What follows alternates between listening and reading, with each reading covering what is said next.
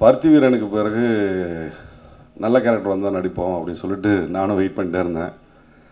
ரெண்டு மூணு படங்கள் வந்தது சரியாக வரல அதுக்கப்புறம். அதுக்கப்புறம் காத்திருத்தல் மறுபடியும் தொடர்ந்தது. நான் அப்போ மு இனிமேல் வில்லனாக நடிக்குவோம் அப்படின்னு சொல்லி முடிவு பண்ணேன். அப்போது சுந்தர் சார் அவரை அவங்க கம்பெனிலேருந்து ஃபோன் பண்ணோன்னே எனக்கு உண்மையிலேயே சந்தோஷமாக இருந்தது. ஒரு நல்ல ஓப்பனிங்னு நினைக்கிறேன்.